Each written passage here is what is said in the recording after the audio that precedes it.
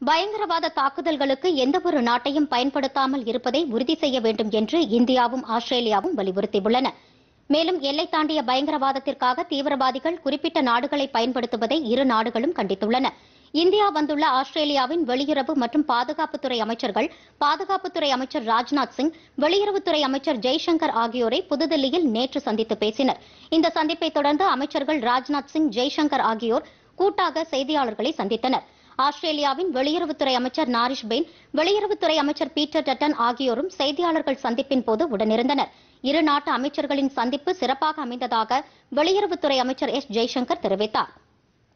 இந்தியாவும் ஆஸ்திரேலியாவும் பூகோள ரீதியிலும் ஜனநாயக அடிப்படையிலும் ஒருமித்த கருத்தை கொண்டுள்ளதாகவும் இந்த சந்திப்பு ஆக்கப்பூர்வமான அமையில் அமைந்த- வகையில் அமைந்ததாகவும் அவர் கூறினார்.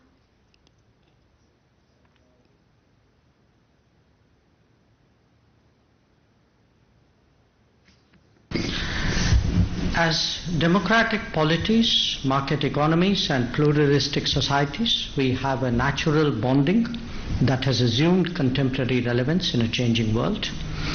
It was during the first India Australia Virtual Leaders Summit held on 4th June 2020 that our Prime Ministers agreed to elevate our relations to a comprehensive strategic partnership. This 2 plus 2 dialogue format is a direct outcome of that Leaders Summit and is pursuant to the comprehensive strategic partnership. Indo Pacific பிராந்தியத்தில் அமைதி வளம் மற்றும் நிலைத்தன்மை ஆகியவற்றை பாதுகாக்க இரு நாடுகளும் தொடர்ந்து இணைந்து செயல்படுவது அவசியம் என்று அவர் கூறினார் இம்மாத இறுதியில் அமெரிக்காவில் பிரதமர் நரேந்திர மோடி ஆஸ்திரேலிய பிரதமரும் நேரில் சந்தித்து பேசவுள்ளதாகவும் அக்கூட்டத்தில் ஆலோசிக்கப்பட வேண்டிய விவகாரங்கள் குறித்தும் ஆலோசிக்கப்பட்டதாகவும் ஜெய்சங்கர் தெரிவித்தார் ஆஸ்திரேலிய அமைச்சருடனான சந்திப்பு குறித்து கருத்து தெரிவித்த மத்திய பாதுகாப்பு அமைச்சர் ராஜ்நாத் சிங் ஆப்கானிஸ்தான் விவகாரம் கடல்சார் பாதுகாப்பு இந்தோ பசிபிக் ஒத்துழைப்பு உள்ளிட்ட பல்வேறு அம்சங்கள் குறித்து விவாதித்ததாக தெரிவித்தார். இதற்கிடையே தில்லி வந்துள்ள ஆஸ்திரேலிய பாதுகாப்பு அமைச்சர் பீட்டர் டட்டன் மற்றும் வெளியுறவு அமைச்சர் மேரிஸ் பேனியும் பிரதமர் நரேந்திர மோடியை நேற்று மரியாதை நிமித்தமாக சந்தித்து பேசினர்.